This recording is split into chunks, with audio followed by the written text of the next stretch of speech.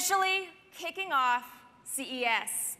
And we all come to CES because it's known for introducing ideas and technologies that will advance our lives in meaningful ways. Today, thanks to Chevrolet, you are finally looking at the connected car. And to tell us what all of this means for you, me, and the cars we drive and spend so much time in, I'd like to introduce the Executive Vice President of Chevrolet, Alan Batey. Welcome, come on up. So tonight we are pleased to announce that Chevrolet, connected by OnStar, will offer the largest number of vehicles available with built-in 4G LTE. It's going to come from our smallest car, the Spark, which is in the back here this evening, right through to this incredible Corvette Stingray. So this technology just isn't for the rich and famous, it's for the people, and that's what's really cool about this. It opens up a world of incredible personalized opportunities. So no matter where you go, as long as you're next to your car, you yep. have a you know, personal mobile hotspot. That's it. It's built in, so it's a built-in 4G LTE um, for your vehicle, which is powerful and most importantly, re reliable. What does it mean? You're going to be connected anytime, anywhere. What this is going to give us the ability to do with the OnStar 4G LTE with a built-in hotspot, it's going to give us the ability to connect up to seven devices, but importantly, to the car.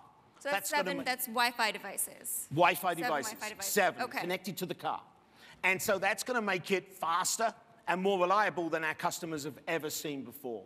I honestly believe that we are blazing here a new trail where we're creating a robust in-vehicle connectivity solution, making time in the car much more productive and I think much more enjoyable. When you think about customization, one size obviously does not fit all. It does not. And that's why tonight we're announcing the Chevrolet App Shop.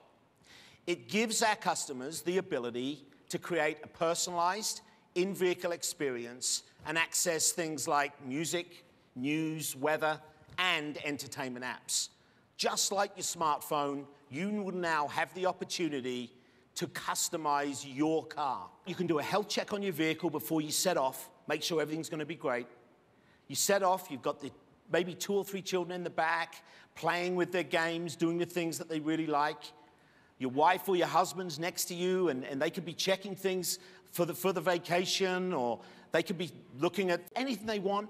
You can then download a movie into the back of the car when the kids get a little bit fidgety. Just think of the flexibility and how the customer's in the middle because they can customize what they want. This is about customizing it around the customer, and that's why I'm really so excited about everything that's, that you've seen on that video there. And also that it's going to sort of grow and change as, as people use it a little bit more. Yeah, that's really the beauty of this, is we know that our customers, they change, their needs change. And what you're going to be able to do with the uh, app shop is you're going to be able to make changes as your needs and tastes change. And uh, as we approve more apps, you're going to get more and more flexibility. The car will basically evolve with our customer. Alan, thank you very much. Thank you.